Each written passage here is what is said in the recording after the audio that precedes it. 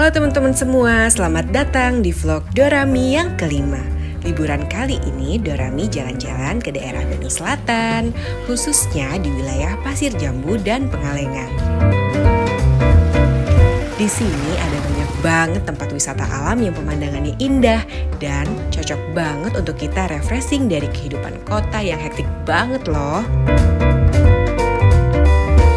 kami menginap di Villa Argapuri Resort yang letaknya di Desa Gamu. Kira-kira dua jam perjalanan dari kota Bandung. Karena pagi ini dingin banget, kita berjemur sambil jalan-jalan yuk. Ini adalah perkebunan teh di Desa Gambung yang merupakan pusat penelitian teh dan kilau. Seneng banget lari-lari di sini karena banyak rumputnya dan maklum juga soalnya di rumah kita nggak ada rumputnya.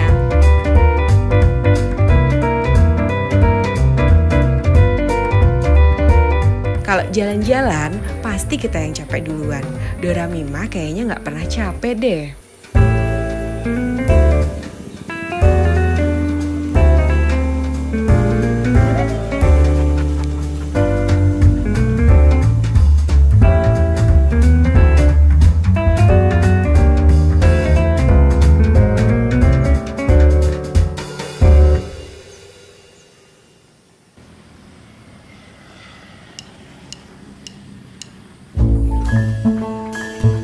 Nah, ini villa tempat kami menginap.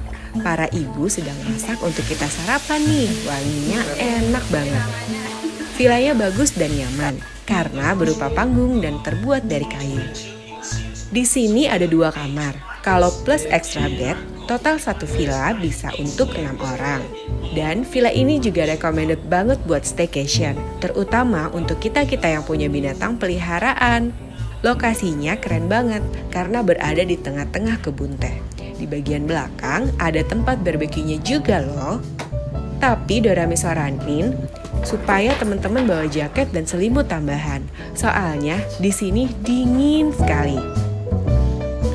Nah, ini Dorami sarapan duluan biar nggak rewel.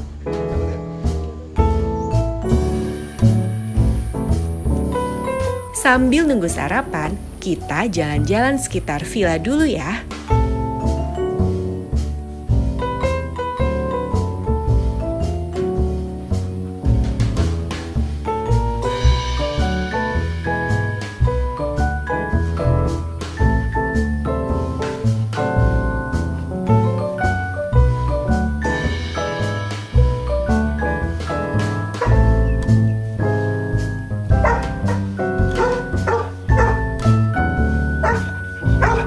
Karena di sini nggak ada TV, jadi kita gelar layar tancap sendiri. Kita sarapan sambil nonton acara launching New Age dan Quick. Maaf ya, Dorami jadi dicuekin.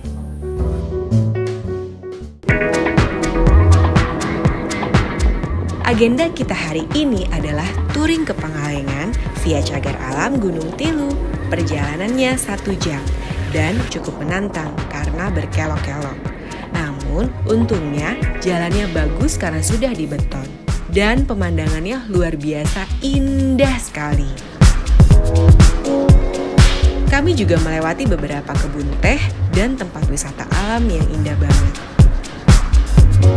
Pokoknya kalau teman-teman sedang liburan ke Bandung, teman-teman wajib jalan-jalan ke daerah ini ya.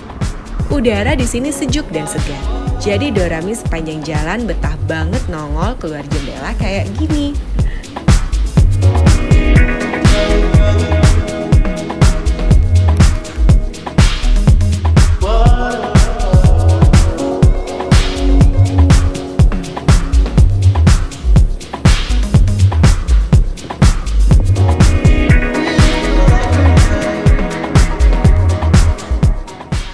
Puas jalan-jalan di Pengalengan, kami istirahat sejenak di kebun teh Kertamana untuk makan siang dulu sekalian Dorami eksplorasi lingkungan.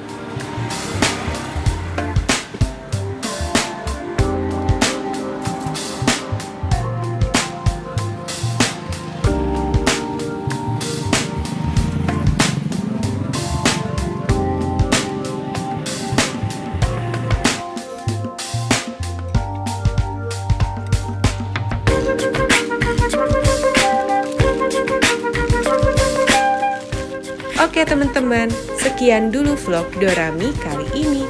Jangan lupa ya subscribe channel ini Dorami. karena Dorami bakal review banyak tempat-tempat yang pet friendly. Sampai jumpa lagi.